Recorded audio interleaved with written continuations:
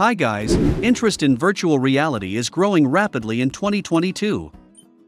One of the cheapest keys to enter the world of virtual reality is to buy the Oculus Quest 2. People always have the same question in their minds. What is metaverse?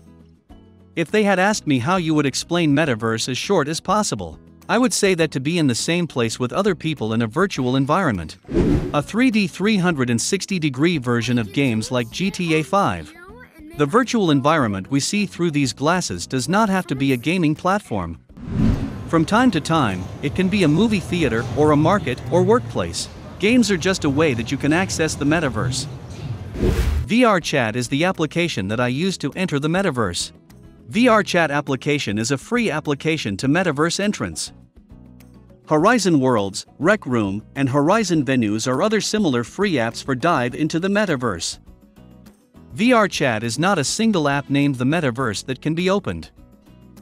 Oculus Quest 2 VR chat app and a fast Wi-Fi connection will suffice for metaverse. There is no limit to what we can do with VR chat. For example, we can meet up with my friend and go to a movie theater and watch a movie.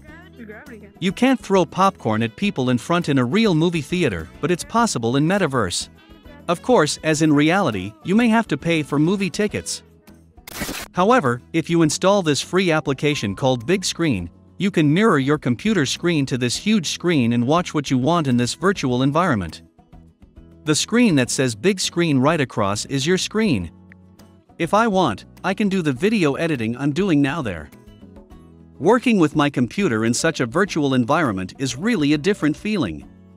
I have a big room, I have a fireplace, go to the seat I want, I can adjust the light level of my room and watch movies on Netflix here.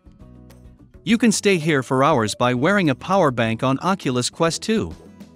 However, having closed glasses in front of your eyes is a bit tiring after the first half hour of use.